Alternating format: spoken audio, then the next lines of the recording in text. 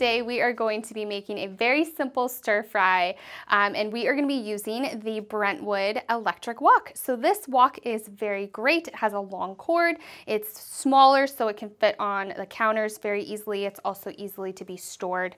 Um, I am no chef, um, so what I do is I like very simple recipes. So I'm just gonna show you what I do um, when I use this wok. So what I'm gonna do, I'm gonna take off this lid and we're gonna turn it on high. And I am just, I took a giant bag of frozen veggies and I'm gonna put it in the wok. so there's really no glamorous way of doing this and I'm just gonna add a little bit of water. And then we are just gonna let this all cook up and I'm gonna stir it a little bit.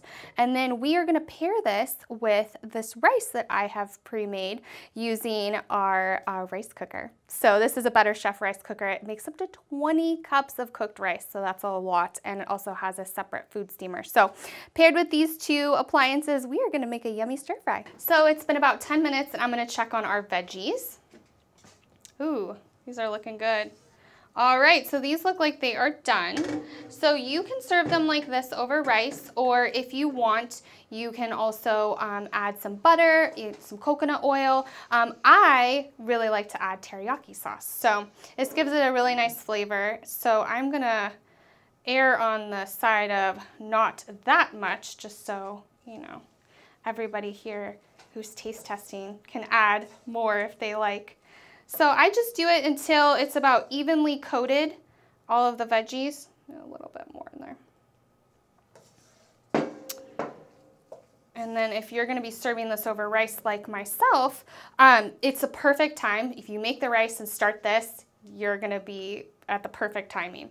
So what I'm gonna do is I am going to, I have pre-made this rice, and this is in our Better Chef rice cooker. And so I'm gonna take a little bit of scoop of rice, this meal is really good for when you are trying to stay healthy, but you just don't have that much time. So this thing is about 20 minutes start to finish. This is really nice. So we're gonna put a little bit of rice in there, scoop some veggies. And if you wanted to, you could also put um, chicken, shrimp, um, ground beef, you know, steak. This is a great addition to this recipe. It'll taste really good when you have the teriyaki sauce in there. So let's see what this tastes like. Because this is cooking made simple. Enjoy!